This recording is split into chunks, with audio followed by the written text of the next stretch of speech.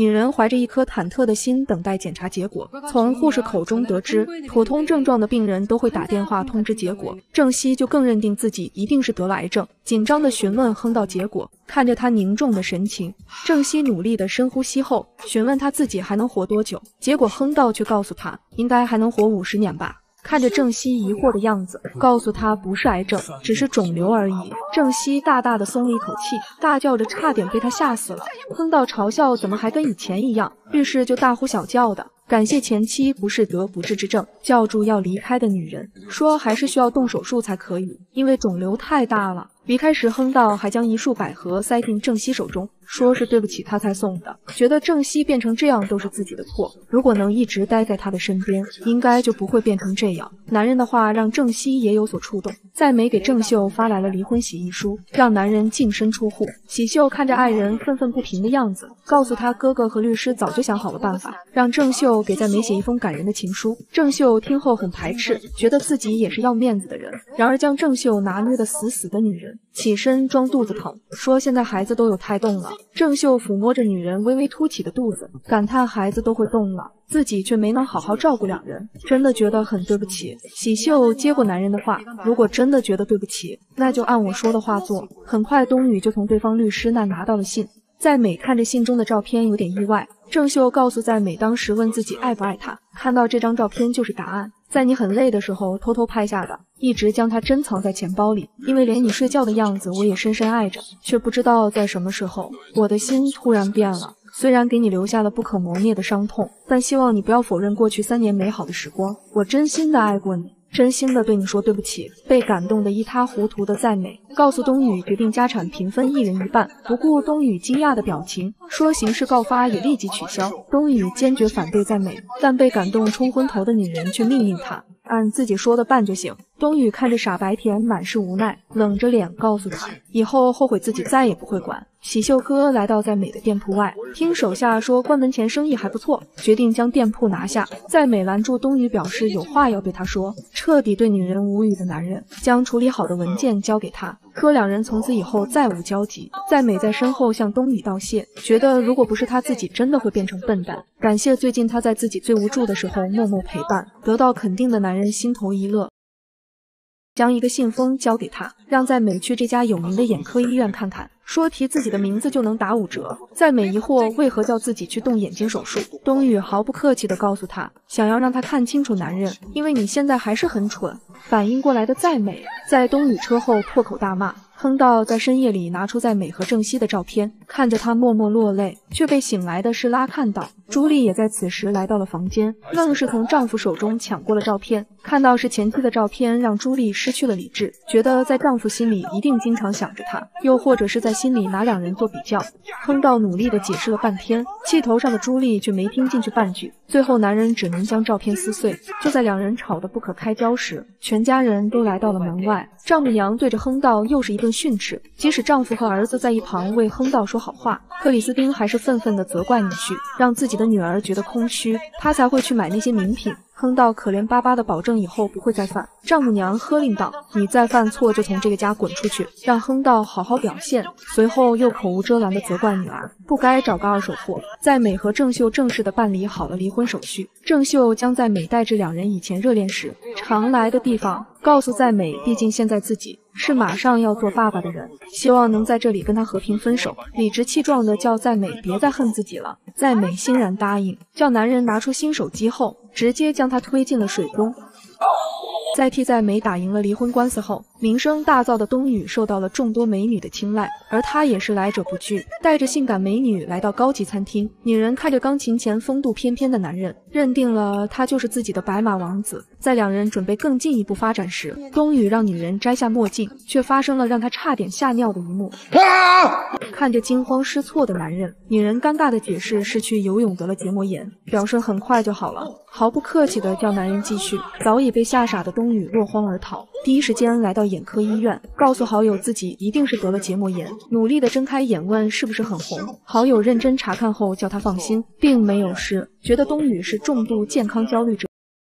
冬雨拿着眼药水来到洗手间时，刚做完视力矫正的在美走了进来，闭着眼睛乱摸一通后，让旁边的人帮忙递个纸巾。冬雨乖乖递上，听到是男人的声音，让在美吓一跳，对着他胡乱抓了几下后，大叫变态。冬雨连忙叫女人看清楚他在哪里，在美这才知道自己所处的位置是男厕所，男人也理所当然的告诉他你才是变态。在美突然察觉到不对劲，怎么这声音如此熟悉？定睛一瞧。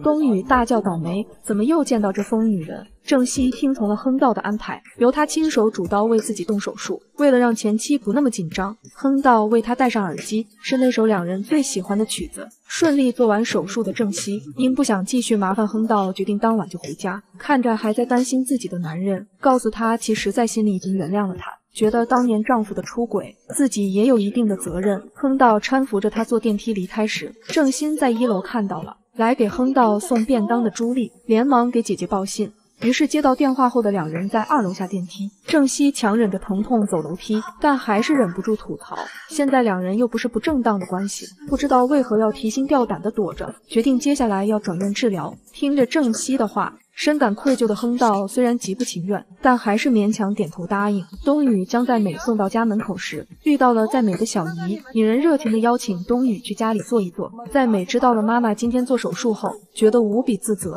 郑熙安慰女儿自己没有关系。觉得只要看着女儿好就行。小姨问冬雨怎样才能发泄心中的郁闷，于是冬雨决定为在美举行离婚仪式，让她摘下手中的结婚戒指后，使出浑身力气将它砸碎。在美的脑海中浮现最近受的委屈。妈妈安慰女儿做得很好，在美告诉妈妈，虽然今天的自己很悲惨，但以后会努力认真的生活，一定会再幸福的。最后狠下心将戒指丢进了江里，大叫我一定会幸福的，我想幸福，不会再哭了。不管多么累，也不会再输了。另一边可就幸福了。郑秀正式向喜秀求婚，也许这一刻是喜秀最幸福的时刻了吧。打算重新开始的在美，却被房东告知店铺已经转出去了。无论在美如何请求，女人就是不肯说出对方的电话，命令在美今天之内将店清空。原来是喜秀哥将店铺给租了下来。送给两人做结婚礼物。喜秀带着郑秀来到店外，想要给她一个大大的惊喜。打开眼罩时，却看到一脸无语的在美。郑秀听到爱人说看到在美就不舒服后，一脸认真的叫她别再纠缠。在美懒得跟两人计较。喜秀拿出店铺的合同给男友。郑秀看后没有任何惊喜，反而是不耐烦的说。自己对粥铺一点也没有兴趣，也不想被人说闲话。喜秀却觉得他没有拒绝的资格，两人必须要想办法养活自己才行。让郑秀好好为孩子想想。郑秀却担心在美如果在附近开了粥铺，两人的生意就会泡汤。喜秀眼神中透着杀气。告诉郑秀自己会让他再也开不了粥铺。在美为了向冬雨表达谢意，特意将一幅象征着好运的百合画送给了他。大文替在美交给冬雨时，看到了相框后的字后，责怪冬雨不厚道。没想到老板连自己的顾客都不放过。冬雨看了后也吓一跳，上面竟写着“亲爱的，我爱你”之类的话。连忙打电话叫在美在原地等自己。冬雨责怪在美不该爱上风度翩翩的自己。终于听出是因为画框后的字，在美这才想起是在飞机上写给郑秀的，但依然觉得冬雨挂在墙上没有关系。克里斯汀正好看到儿子将画给在美，两人拿着画推来推去，最后冬雨将画塞给在美后逃进了电梯。郁闷的在美在克里斯汀身旁自言自语：“真是王子病太严重了。”还以为全世界的人都喜欢他，克里斯汀则在心里默默说着：“我的儿子不是王子病，他就是个王子。”在美看着画框发愁，最后直接丢进了垃圾桶。连忙捡起来的女人责怪在美怎么能将宝贝送她的礼物丢进了垃圾桶里。今天是郑熙到医院拆线的日子，刚停好车准备上去，就看到了前夫和他妻子恩爱的画面。拆线后正准备离开，亨道邀请他跟自己一起吃顿晚餐。看郑熙想要拒绝，亨道诚恳的请求，表示自己有话要说。坐下后，亨道就接到了是拉打来的电话，以为前夫生活很幸福的郑熙告诉他，曾经自己真的很恨他，但是随着时间的流逝，现在真心的因为他幸福而感到欣慰。亨道将一个装着支票的信封。和郑熙最爱的 CD 交给了他，说是对这些年对女儿微不足道的补偿，希望郑熙能在女儿需要的时候交给他。郑熙收下了 CD，将支票还给了他，说希望他和女儿冰释前嫌后自己交给他。哼道希望两人以后能偶尔联系，却再次被郑熙拒绝，一个人失落的喝着红酒。回忆着与前妻一起的幸福时光，朱莉不停地给丈夫打去电话，却一直是无人接听的状态。而将车开至半路的郑熙，听着熟悉的旋律，本以为将前夫放下的她，将车停下路边后嚎啕大哭，误会儿子暗恋在美的克里斯汀，不容儿子拒绝，告诉他周六为他安排好了相亲，在美在以前的店附近重新租下店铺，准备开业。喜秀和郑秀也在为开业准备，喜秀还特意买了和以前在美洲店一样的碗盘。拿出哥哥在在美店子拍下的照片，说是故意弄成和以前的一模一样。郑秀还在担心在美会继续开店，喜秀冷着脸说绝对不会让他如愿。喜秀哥拿下了两人开店的商标权，看郑秀担心的样子，男人告诉他这是为了他们的孩子着想。喜秀则嘲讽在美很快就要完蛋了，竟然还想要开店，最后肯定很丢人。郑秀心不在焉地说现在自己有了孩子，在美应该会理解的。喜秀哥派人监视着在美的一举一动，正准备开业的在美还在沾沾自喜，男人却直接撕掉了店外的广告。克里斯汀还在为儿子不去相亲而担心，来到他房间准备拿走信用卡，冬雨立马换了副面孔，答应妈妈一定提前半小时到。于是，在美洲店开业这天，冬雨因为要去相亲没法去，律师所的同事们来到粥店祝贺。此时，在相亲的冬雨本想要用老办法吓走女孩，不料名声在外的他却直接被女孩识破。两人决定抛开相亲，试着交往。在美小姨扛着糕点来到粥店，大文看到郑欣后却吓一跳，因为他长得和自己的妻子一模一样。突然，门外来了一群不速之客，正在拆在美店子的招牌。看在美一家疑惑的样子，早有准备的他拿出店名的商标权，让在美好好看看它的主人是谁。看着上面写着韩正秀的名字，在美差点气晕。准备陪着小女友去兜风的冬雨接到了大文打来的电话，电话那头传来在美争吵的声音。此时喜秀哥安排好的混混正在疯狂的拆掉在美的粥店，陪着小女友的冬雨想着在美的是心不在焉，最后直接将她丢上了出租车。在美猜到一定是郑秀搞的鬼，带着妈妈和小姨直接冲进他的粥店，上来就是一巴掌。女人恶狠狠地将在美推开，小姨愤愤地想要将郑秀拉去警局。喜秀连忙给哥哥打电话报信，郑秀直接甩开了小姨，问他们自己到底犯了何罪，需要如此大动干戈。面对在美一家的指责，郑秀硬着头皮说，在厨房工作的人对这个店子也有一半的功劳。就在郑熙忍无可忍，抓着郑秀质问时，喜秀哥在不远处命令郑熙放开手，走上前轻易地将他推至一旁。刚做完手术的郑熙胸部受到严重的撞击，愤愤地在美命令胖子站住。男人挑衅在美，让他用力往自己脸上打。就在在美不顾一切想要挥出拳头时，冬雨及时出现拦住了他，强行将他带走。很快，克里斯丁就接到女方家打来的电话。知道儿子半路跑路的她，气得直接血压上升，命令丈夫马上给儿子打电话。冬雨看着哭哭啼啼的在美，问当时阻止她分一半财产给对方时是怎么对自己说的。现在就连商标权都被男人抢走了，你脑袋清醒了没？在美委屈的大叫：“我怎么知道会那样？”冬雨忍不住吐槽：女人在那么多流氓面前，竟然还想要和别人拼命，觉得要不是自己及时赶到，估计她现在已经躺在了医院里。在美对冬雨没有任何感谢的意思。反而责怪他干嘛要来插手别人的事。冬雨瞬间无语。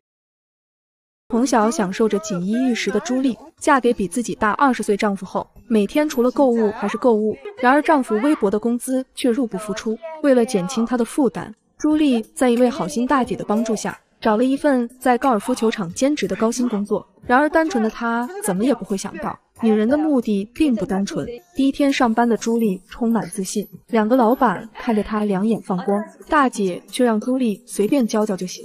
克里斯汀也和好友打高尔夫，就在几人有说有笑时，好友却看到了不远处的朱莉，问克里斯汀那是不是她女儿。克里斯汀无比确定地告诉两人，自己的女儿不可能会跟丈夫以外的男人打高尔夫。自从郑熙被推倒后，伤口一直隐隐作痛，来到休息间查看后。手上竟多出了许多血迹，瞬间吓得不轻。打完高尔夫球的朱莉正准备离开，女人却告诉她，这才刚刚开始。朱莉努力理解女人话里的意思。克里斯汀也准备和好友们离开，眼尖的女人却再次看到了朱莉。察觉不对劲的朱莉询问几人要去哪里，一脸坏笑的男人告诉她，现在才是正戏。看着朱莉一脸天真的样子，大笑着说：“就喜欢这种装纯洁的。”说着就上前搂住了她。被吓到的朱莉对着男人就是几拳，觉得是遇到坏人了，拿起包就想逃，不料却被女人抓住，命令她收了钱就该好好办事。问朱莉给了他那么多钱，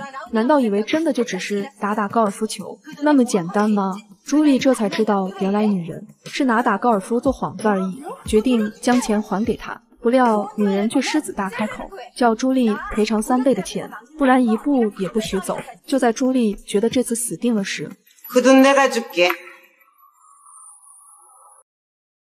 朱莉对妈妈感激不尽，觉得要不是有她自己，一定会被他们拖走。克里斯丁冷冷地叫女儿跟上。郑熙换了一家医院检查，医生告诉他要进行更进一步的检查，才能知道结果。让郑熙去做手术的医院拿证明过来。克里斯汀完全听不进朱莉的解释，觉得她去工作全部都是女婿的错。要不是因为他没钱没能力，自己的女儿也不会想着出去工作。命令朱莉马上去医院找亨道。从手术室出来的男人一身疲惫，却不知自己马上就要迎接一场暴风雨。隐约听到吵闹声的郑熙悄悄打开了办公室门。亨道问妻子又惹什么祸了吗？朱莉可怜巴巴的道歉。丈母娘愤愤地告诉他。你的妻子今天竟然在高尔夫场给别人当了一天的玩具，要不是我看见她今天就完蛋了。问女婿觉得冤枉吗？亨道默默为郑熙写好了证明。问怎么拔线才没多久又去医院了，不想再给亨道添麻烦的郑熙，尴尬的回答只是觉得女医生方便而已。当郑熙准备离开时，犹豫再三，还是转身询问前夫要不要去喝一杯。而另一边觉得对不起哼道的朱莉，一边开车一边像哭丧般嚎叫，觉得妈妈做的实在太过分了。冬雨决定帮在美找回商标权，让她约郑秀出来协商。虽然充满疑惑。但在美还是乖乖照做。本来冬雨是打算试探两人一番，在美却在看到前夫洋洋得意的脸后，愤愤地将自己的底牌说了出来，告诉两人自己一定会找到证人，证明那个商标是自己的。虽然冬雨及时阻止，但郑秀还是将在美的话听了进去。终于知道自己说错话的在美。和冬雨马不停蹄地往金女士家赶，先到达的郑秀和金女士擦肩而过，而在每一眼认出走在路上的女人，兴奋地跟她打招呼。亨道和郑熙来到小酒馆，男人自嘲地说：“今天你看到的我才是真正的我，每天努力地挤出笑脸。医院是后辈的，不是我的。别人都羡慕那样年轻貌美的妻子，无论我多么努力地赚钱，永远不够他购物的平均消费水平。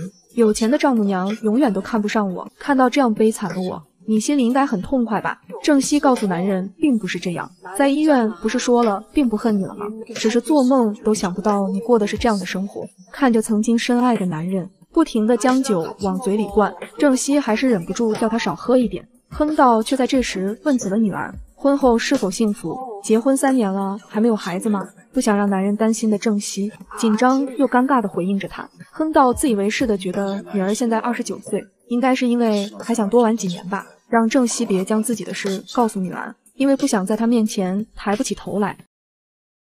家里看到妈妈躺到床上睡觉的朱莉，连忙发信息给丈夫，告诉他现在可以回家了。担心丈夫喝酒后打呼噜，所以自己去女儿房间睡觉了。而无处可去的亨道让郑熙将自己送回医院。看到车上粥店的宣传单，还以为他开了分店，感叹只要他们娘两生活得好。自己怎么样都无所谓。到达地下停车场，郑熙看着睡着的男人，回忆起克里斯汀训斥他的样子，本想要叫醒他，却在看到他满头白鬓时停止了动作。醒来的亨道依依不舍地下了车。此时分别多年的两人，心情都无比沉重。在美这边也进展顺利，金女士听到郑秀的所作所为，为在美而打抱不平，毫不犹豫地答应两人明天去律师所写陈述书。然而下一秒回到家。儿子却坐在了美秀哥的腿上，认出来人是郑秀，马上明白了两人的意图。在美将饥肠辘辘的冬雨带回了粥店，看着在美炒饭的样子，冬雨的心一点点被他吸引。吃着美食，忍不住夸奖在美做饭好，心地也好又漂亮，唯一的缺点就是那个太小。不出所料的被在美一顿揍。隔天忙完工作的亨道回忆起在郑熙车上看到的传单，看着女儿的照片后。在网上找出曾经记者去粥店采访的视频，猜出郑秀就是自己的女婿，决定偷偷去看看女儿和女婿。好不容易找到粥店，却意外看到了郑秀和美秀亲吻的画面，带着疑惑走进店里问询，才得知在美已经离婚，而眼前的女人就是粥店的新主人。碰到第一时间来到郑西的店里，问他为何要隐瞒自己女儿离婚的事？不是说她过得很好吗？为何会离婚呢？于是郑西将女儿被骗婚的事告诉了男人。哼道愤愤地责怪为何不早点告诉自己。郑西理所当然地告诉他，不想给你添堵，因为知道你帮不上忙，觉得女儿也不会想让他知道，毕竟两人现在的关系和陌生人没有区别。迟迟联系不上金女士的在美，直接来到她家外面等待。从金女士邻居口中得知，除了他昨天，还有几个凶神恶煞的人来到了这里找金女士。在美猜出一定是喜秀哥一行人和美女约会的东宇，一直心神不宁的看手机，趁着女人离开，连忙给在美打去电话。知道了郑秀一行人找过金女士后，命令在美马上回家。在美却执意要等金女士，直接挂断了男人的电话。朱莉为了哄母亲大人消气，想遍了各种办法，但都被他给赶了出去。最后，朱莉想出了妙招，先让父亲大人为母亲按摩，然后大声惨叫。女儿冲进房间，大叫：“妈妈出事了，手上出了好多血！”这可把克里斯汀吓坏了，连跑带跳的冲了出去。看着一身血的朱莉无比着急，让丈夫打幺幺九后，直接用嘴巴为女儿止血，这才发现味道不对劲。朱莉告诉妈妈是番茄酱。看着女儿的傻样，克里斯汀瞬间暴跳如雷，对着他就是一顿狠揍。觉得女婿有这样的疯妻子也有够惨的，所以本不打算原谅他来着，现在看来得原谅他了。知道母亲大人原谅了丈夫，朱莉觉得自己的付出都是值得的。父亲也对女儿甚是无语，原谅了女婿的克里斯汀，让孙女给他打电话，却始终是关机的状态。最后无语的回房。此时坐在车上的亨道回想起自己在关岛做的噩梦。又联想到前妻说都是自己种下的恶果，瞬间眼神变得异常坚定。郑秀和喜秀正在美滋滋地数着钞票时，亨道直接冲了进来，让郑秀和自己好好谈谈，告诉他自己是在美的父亲，拿出装着两千万的信封给郑秀，表示自己会努力凑更多的钱给他，只希望他能将粥店还给在美。郑秀却嘲笑男人给的太少，最后口无遮拦地说：“再美是被你和我抛弃的女人，所以她的八字让我觉得很恶心。”作为父亲的亨道忍无可忍，一拳将郑秀打飞了好几米，将所有的愤怒都用在了拳头上，抓着郑秀疯狂的输出，告诉他，对于在美来说，两人都是罪人，所以今天就在这个世界上消失好了。来到粥店找女儿的郑熙，从员工口中得知郑秀粥店打架的事。好奇心驱使他来到了店外，惊讶地看到郑秀躺在担架上上了救护车，而亨道则被强制带回警局。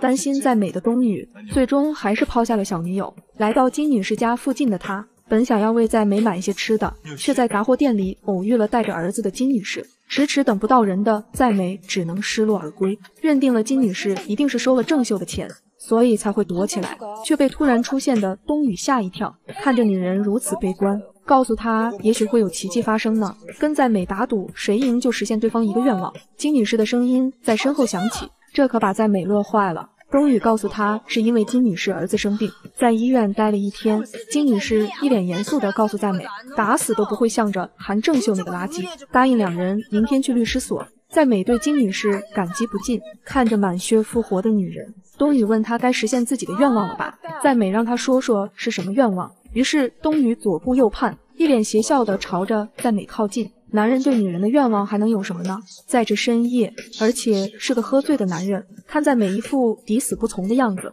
冬雨拿出钥匙让他做司机，上车前还不忘嘲笑在美一下。看着一路上滔滔不绝的女人，冬雨命令他马上停车，拿出刚才在杂货铺买的零食给在美，觉得她在门口等那么久一定很饿。鼓励女人做回自己，好好生活。于是，在美脱下鞋子，大声地告诉月亮，自己以后一定会堂堂正正的生活，做回甜美、明朗、帅气的江在美。冬雨痴傻地看着眼前的女人，直到被在美叫了好几下，才回过神来，体贴的想要扶在美下车，却直接被她拒绝。这时，一辆车从后面驶来，冬雨连忙将在美护进怀里，瞬间两人的小心脏都砰砰直跳。在美尴尬的向冬雨道谢，冬雨却直接一把拉过在美。车上的在美则嘲讽道：“还以为谁都喜欢他吗？到底啥时候才能懂事？”突然又开始猜测男人不会是喜欢自己吧？抚摸着小脸，但感叹：“不管怎么可爱漂亮，我也是大婶了呀！”红着脸说：“真是太不可思议了。”并不知道丈夫出事的朱莉来到医院亨道的办公室等待，直至睡着，丈夫都没有出现。直到护士小姐告诉她这里要关门了，朱莉才决定暂时回家等待，却意外在丈夫的包里看到了两千万的贷款存折。此时，在警局里的喜秀正愤愤地命令警察严惩亨道。告诉她自己的丈夫都快被打死了，所以绝对不会跟她和解。心如死灰的亨道没有丝毫辩解。赶到警局的郑熙想要跟喜秀谈一谈，女人却没好气的告诉他自己没心情，觉得他们家的人脑子都有问题，轮流来找麻烦，愤愤地说自己的丈夫现在正处在生死边缘。听到这话的郑熙也傻眼了，没想到郑秀会伤得如此严重，想要和女人找个安静的地方说话。却再度被女人拒绝，说绝对不会放过亨道，觉得只有让他去吃牢饭，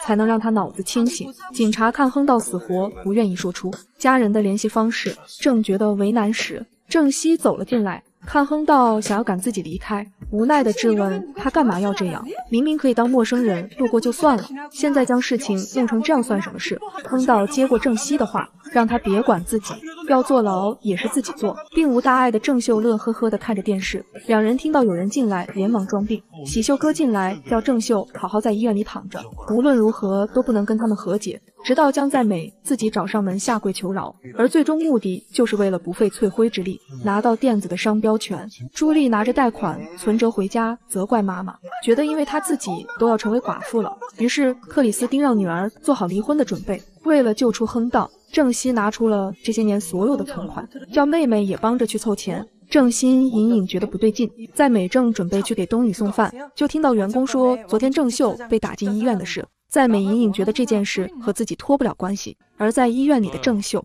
迟迟不见在美来求情，主动联系他，让他来医院看自己。面对在美的疑惑。告诉他自己住院就是因他而起，具体的让他回去好好问妈妈。接完电话的在美越想越觉得不对劲，连忙找到服装店向小姨询问情况。郑欣联想到最近姐夫和姐姐吵架，猜到打郑秀的人也许是姐夫。此时郑熙已经来到了医院，低声下气的请求对方能饶过亨道。郑秀愤愤地指责亨道竟然敢强迫自己交出店铺，不同意就将人打成了这样。嘲讽他既然那么关心女儿，怎么能不知情的活了十年？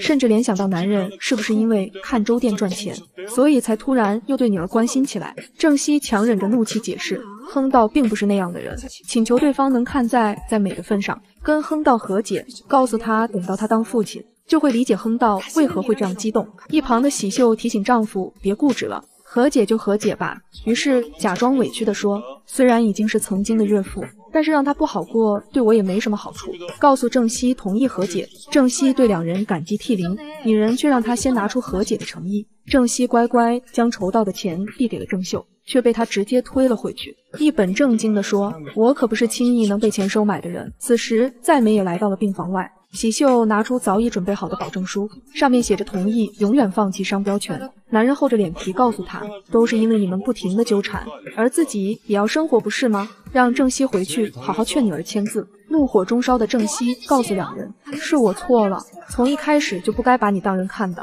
还有你，马上就是当孩子妈的人了，以后该有多后悔做出这样的事。这里恶心到让人无法待下去。在美冲进来，直接将保证书撕碎，愤愤地告诉郑秀。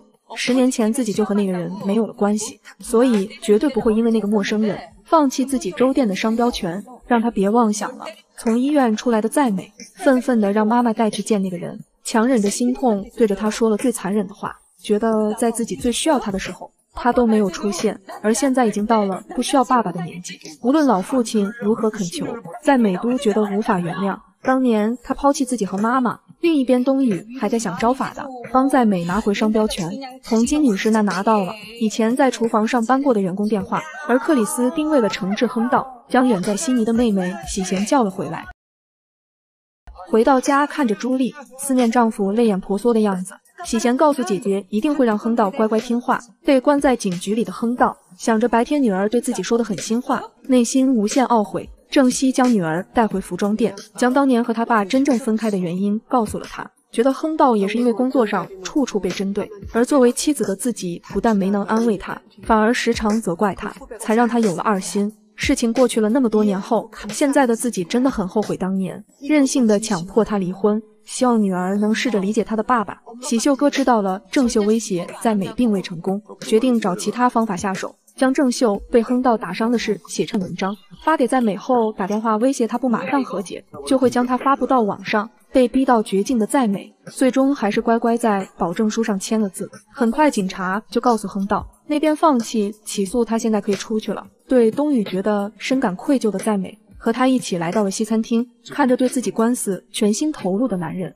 在美挣扎许久，却还是没有勇气说出实情。不明所以的冬雨还屁颠屁颠的给在美送了礼物。说只是想要让他改变一下形象而已，希望他能拿回粥店后重新出发。在美将礼物推了回去，告诉他自己已经决定取消诉讼。看在美不愿说出原因，冬雨愤愤地告诉他，这是我做律师以来第一次认真的做事。对在美彻底失望的他，告诉在美，希望两人以后别再见面了。在美连忙追了出去，说自己有不得已的苦衷，希望冬雨能理解。正想要说出缘由，却被冬雨给堵了回去，告诉他自己没有兴趣知道。将礼物丢进了垃圾桶，再美看着头也不回的冬雨，再看看垃圾桶里的礼物，回到家看着手中的裙子，还有调皮的冬雨留下的纸条，对他的歉意就更深了。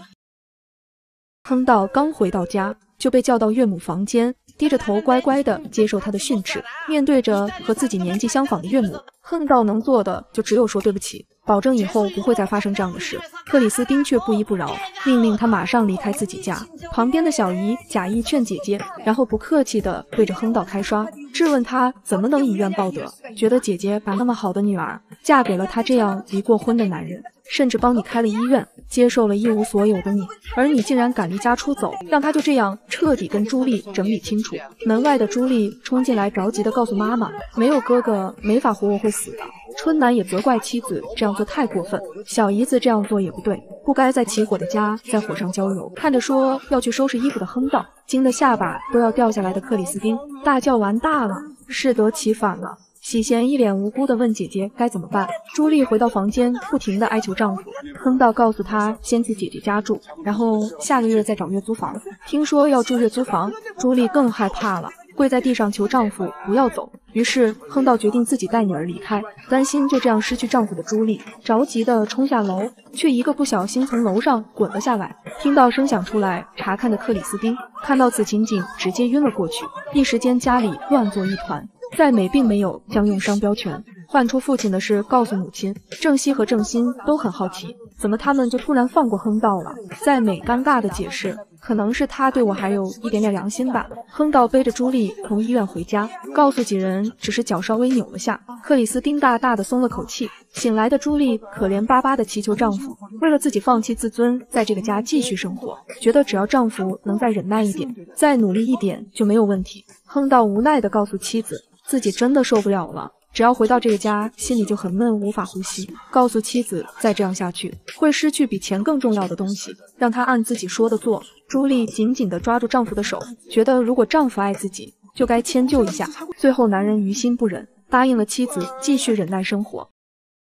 在美的粥店换了名字后重新开业，告诉金女士今天开始会努力工作。对在美彻底无语的冬雨。叫大文将他的所有文件摧毁，并信誓旦旦地说，如果再搭理那个女人，自己就改名叫史冬雨。缘分往往就是那么奇妙。准备去参加服装展示会的郑西与去郊外钓鱼的亨道，在休息站的图书店撞在了一起。眼看着郑西要离开，亨道恳切地邀请他一起去钓鱼。犹豫再三，郑西还是上了车。亨道依依不舍地目送他离开，下一秒，汽车却停了下来。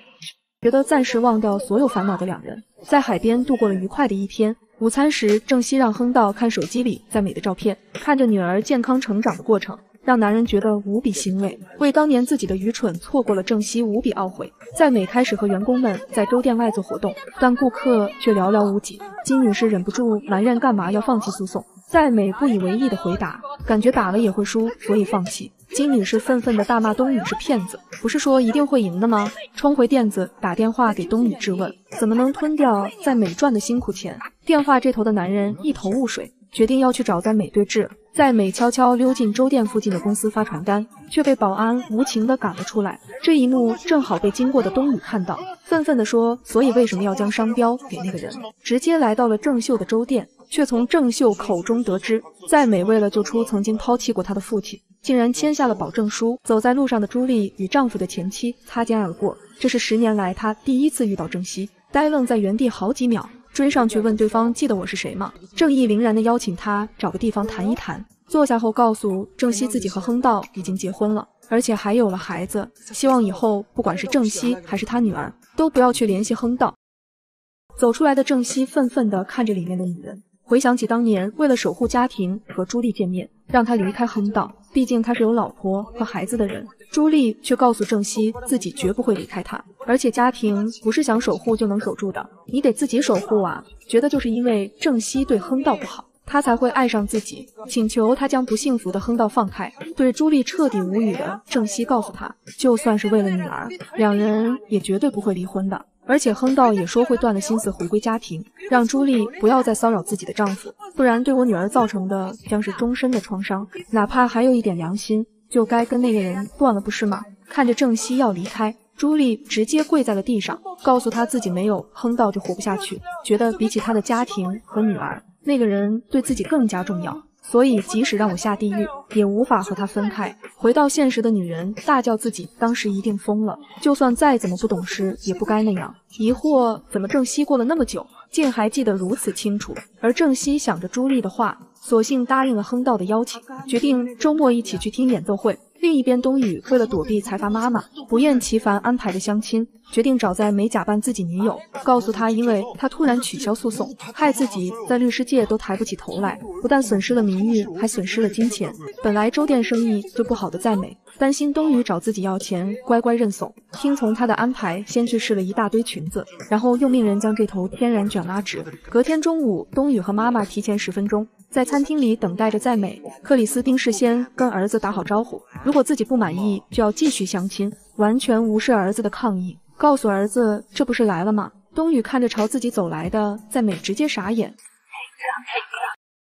听到冬雨跟他妈妈介绍说自己是他女朋友，而且用的还是假名字，在美没有当面拆穿。让他乖乖跟自己出来。克里斯汀看着屁颠屁颠追在女孩身后的儿子，直呼真是没出息。听到冬雨说要让自己假扮他女朋友一天，在美连连拒绝。冬雨愤愤地叫他好好想想商标权的事，如果今天表现好的话，两人就能两清。说着就要拉在美回到餐桌上。在美还在做最后的抵抗，问他如果自己还是不愿意呢？觉得无论如何都没有办法骗人。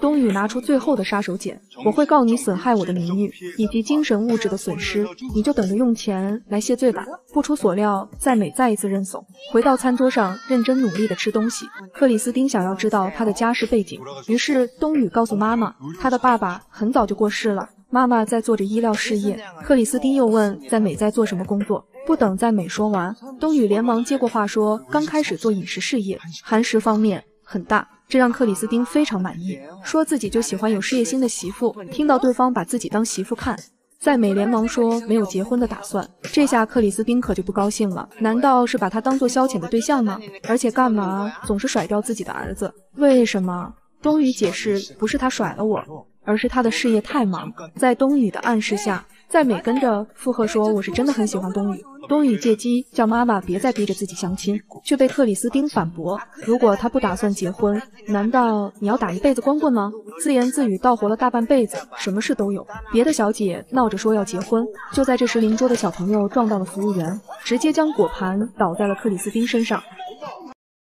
知道闯了大祸的小孩嚎啕大哭，看着跑过来只知道关心自己孩子的女人，克里斯汀愤愤地问他怎么教育孩子的，让他好好看看自己都被弄成啥样了。女人没有丝毫歉意地说：“孩子不都那样吗？难道您没有养过孩子吗？玩耍的时候也会有犯错的时候吧？”反而责怪他凶自己的孩子。看着一脸难以置信的克里斯汀，不屑地说自己给他付饭钱和洗衣费，忍无可忍的赞美。决定要让女人瞧瞧自己的厉害，将香槟用力的摇了几下后，来到隔壁桌，礼貌的打招呼，说：“既然你刚才如此郑重的道歉，所以我给你带来了一份小礼物。”一个。看着暴跳如雷的女人，一脸无辜地说：“香槟不都这样吗？这个饭钱和洗衣费我会付。”冬雨惊的下巴都要掉了。在美则不紧不慢地向女人道歉。这一番操作下来，让克里斯汀对在美刮目相看。在离开时还不忘表扬儿子有眼光，让他一定要好好抓住在美。另一边，郑秀与喜秀在酒店举行了豪华的婚礼，但因为怀孕的关系。两人决定在附近兜兜风后再回家。郑熙正在烦恼周末是否该去演奏会，就收到了亨道发来的信息，告诉他到时候会在大厅等他。于是郑熙回复决定取消约会，说有点忙，还有点不想去。亨道正想要询问为何突然取消，朱莉就直接闯了进来，坐在丈夫身上，让他实现自己一个愿望，将贷款的两千万拿出来去做吸脂手术。亨道毫不犹豫地告诉他那笔钱早就还了，这可把朱莉气得够呛，问丈夫怎么能不跟自己说一声就把钱给还了。看着对自己漠不关心的男人，说他身在福中不知福，将周六见到他前妻的事说了出来，嘲笑郑熙现在完全老得像个老太太，觉得和他站在一起就像妈妈和女儿。下一秒，亨道直接来到前妻的店里，问他是不是因为见了朱莉，所以才取消了约会。郑熙告诉他，本来是因为看到那个女人堂堂正正的质问自己而觉得很气愤、很生气，所以才决定去的。但是今天想了很久，又觉得很尴尬，所以决定不去了。亨道一脸严肃地问：“难道你是因为那个原因，所以才要跟我去音乐会吗？”告诉郑熙，如果只是因为那个原因，不去也没有关系。但是如果有别的原因，还是一起去吧。不管你来不来，我都会在那里等着你。另一边，东宇将在美送至周店附近，却看到郑秀和喜秀从花车上下来。在美既觉得气愤，又觉得很窘迫，让东宇将自己送至别的地方下车。东宇直接扯下他的发圈，硬是将他拉下车，让在美继续和自己假扮情侣。本想要以此戳戳郑秀的锐气，不料郑秀却直接将东宇去店子找自己的事都给说了出来。知道真相的在美气愤地跑回了周店，对着追来的男人质问：为何明明知道我是被逼无奈才放弃的？粥铺却还一整天的把人当猴耍。冬雨一脸诚恳地告诉在美，假装不知道是因为不想在你的伤口撒盐。你以前曾经告诉过我，因为父母离婚有多么无奈和心痛，所以不想再揭开你的伤疤才没说。听着冬雨的一席话，在美将最近压抑在心中所有的郁闷都说了出来。冬雨默默抱住在美，安慰为他打气。今天是亨道约郑熙看演奏会的日子，克里斯汀却宣布要全家人去游泳聚会。机智的冬雨以要去约会为由拒绝了妈妈，亨道也连忙说与后辈有约，却直接被岳母驳回，问他还有什么约会比跟家人约会重要。于是亨道匆匆逃回房间，想要给郑熙发信息，却被进来的朱莉打断，不顾丈夫的反对，直接没收了他的手机。就这样被逼无奈的亨道。只能跟着朱莉来到郊外，却无时无刻不在惦记着与郑熙的约会。而本来下定决心不去的郑熙，看到钱包里亨道留下的门票后，却丢下一脸疑惑的郑欣跑了出去。终于将一家人送回家。亨道匆忙拿着衣服往音乐厅赶，此时郑熙已经在着急地等待着亨道。当亨道赶到音乐厅时，郑熙已经坐上了回家的公交车。亨道默默来到郑熙家门外，犹豫许久，最终还是给郑熙打去电话。郑熙故作轻松地告诉他，自己并没有去演奏会，却在挂断电话的一瞬间，看到了守候在门外的男人，所有的情绪涌上心头，泪水夺眶而出。